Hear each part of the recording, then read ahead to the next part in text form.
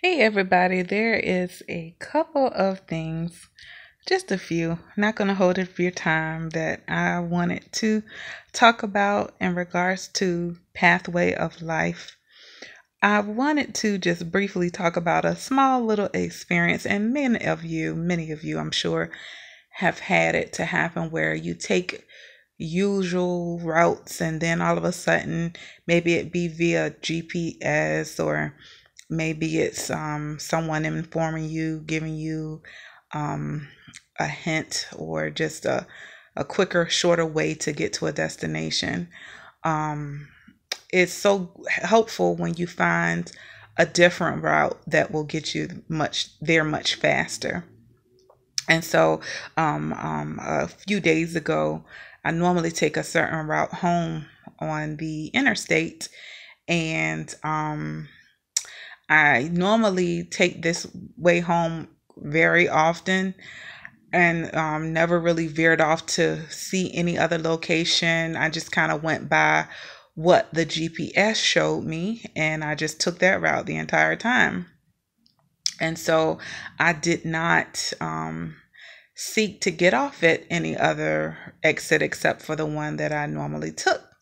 So one particular night, um, I you know, I was uh, at a in a point where I was kind of like leaving work. It was like after midnight, so it was rainy, and I knew to take that normal exit that I took, but I'm like, Lord, there's got to be a faster way. I want to take this way right here to see where it will lead me, and um, um, just see if it will get me home much quicker than me going that other way. And so because it was raining, it was a lot of cars, and I noticed that some of the cars was getting off that exit. I said, let me go ahead and take a chance and take that exit too. So I took that exit, and lo and behold, I was home much faster than I was taking that other exit. I was like, literally, once I got off that exit, I was like a minute away from where I live.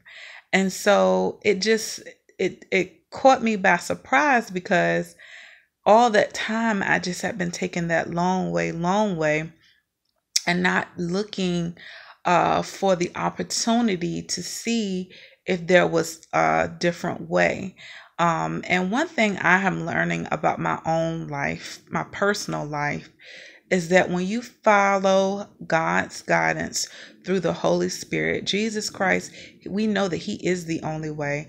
And so he because he is the way, his way is the best way no matter what direction we plan in our life. Um if we follow God's way, his way is the best way. And so I have a couple of scriptures here. Proverbs 16 and 9 lets us know that a man's heart plans his own way, but the Lord directs his steps. He also lets us know in Proverbs 3 6, in all of your ways acknowledge him, and he will direct your path.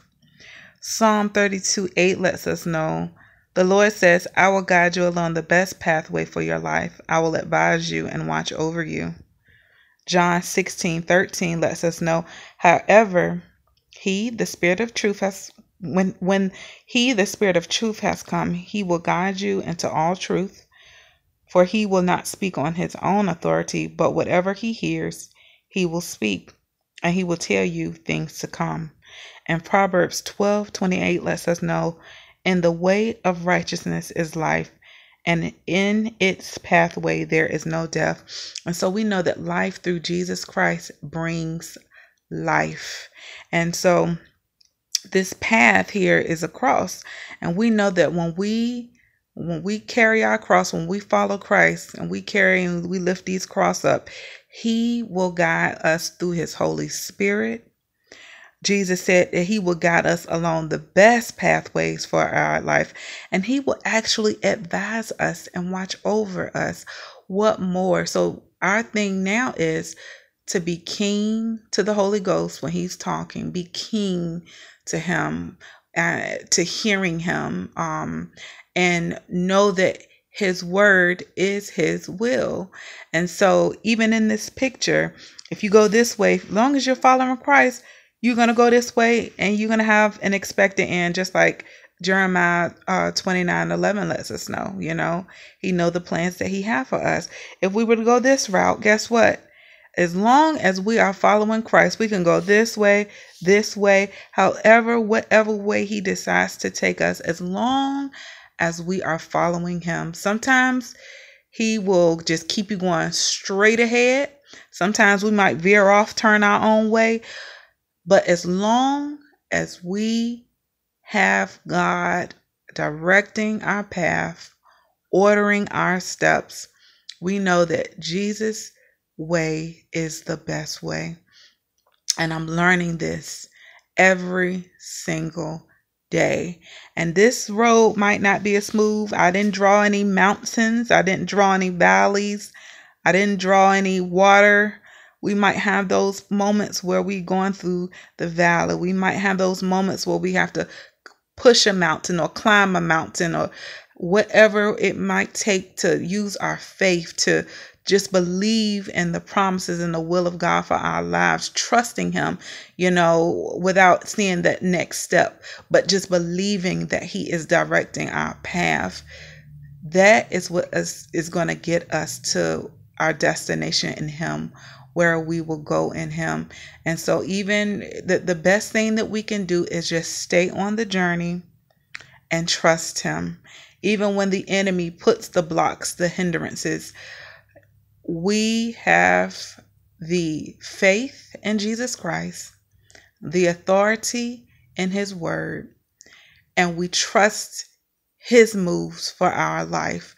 We trust his Holy Spirit, the Holy Ghost leading us and showing us and directing our path through His Word. He may use a, a man or woman of God that will help you along that journey.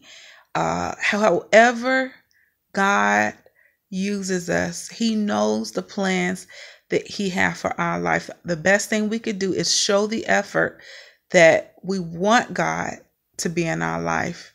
We want to do His will and then get out there and actually do it, and God will do the rest. Anyway, I, pr- I pray that this encourage you. I know that sometimes God give me these things just for me and I just post them, but really y'all, a lot of all of these videos is really just for me.